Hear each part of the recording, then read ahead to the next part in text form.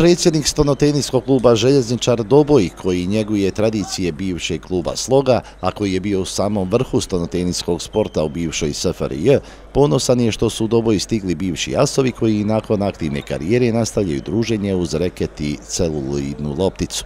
Broj od 107 učesnika jasno govori da je organizovanje ovog međunarodnog turnira pun pogodak. Ovo je prvi ovakav turnir nakon 30 godina koji organizovan Doboju. Vraćamo polako Doboj na stontensku kartu, ne samo Bosne i Hercegovine, nego i regiona.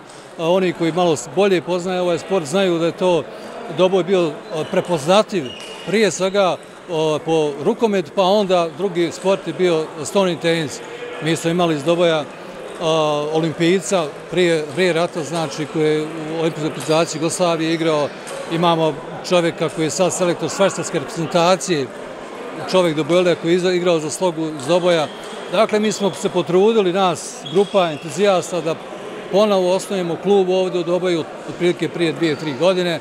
Takčili se u drugoj ligi i sad smo se odlučili na ovaj korak da organizujemo jedan veličanstven turnir. Nekada veliki rivali u prvoj saveznoj ligi Jugoslavije, a danas opet ukrštaju rekete i nastavljaju sportsko druženje u poznim godinama. Ovako bi se moglo okarakterisati sportsko prijateljstvo koje ne poznaje granice.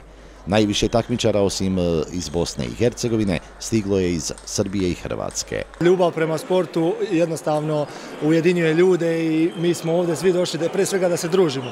Posle toga naravno da se nadmećemo u takmičarski da ko bude bolji da pobjedi, ali mislim da je to jedan od načina da se ljudi jednostavno ujedini da budu zajedno. U Doboju sam više puta bio, dobri prijatelji, dobri domaćini, ali evo prvi međunarodni turnir, i drago mi je ovaj, da smo u ovakvom velikom broju došli, jer uvijek je to druženje najbitnije, rezultat je uvijek u drugom planu.